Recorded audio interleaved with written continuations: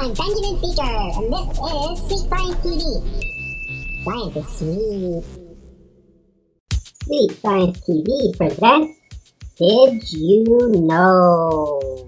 consumers. Did you know that there's five types of consumers in an ecosystem? All of the world's animals or eaters can be put into one of these five groups. Carnivores. Carnivores are animals that only eat meat. They do not eat any plants and only eat other animals. Examples of carnivores are tigers, sharks, dolphins, and polar bears. Herbivores. Herbivores only eat plants, never other animals or meat. Examples of herbivores are giraffes, cows, caterpillars, and horses. Omnivores. Omnivores are a little bit more flexible with their diet, unlike my brother Bobby, who only eats chicken fingers. Omnivores eat both plants and animals.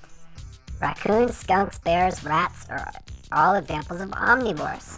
Parasites. Parasites are consumers that actually live off another living thing. It takes nutrients and harms the other living thing, which is called the host. Examples of these annoying critters are mosquitoes, lice, fleas, leeches, and tapeworms. Yuck.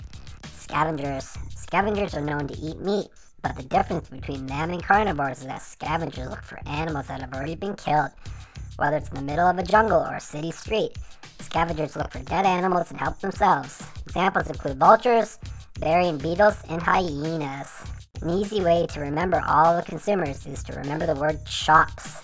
C for carnivores, H for herbivores, O for omnivores, P for parasites, and S for scavengers. Chops. So now you know. Sweet. Thanks for watching Sweet Science TV. Science is sweet.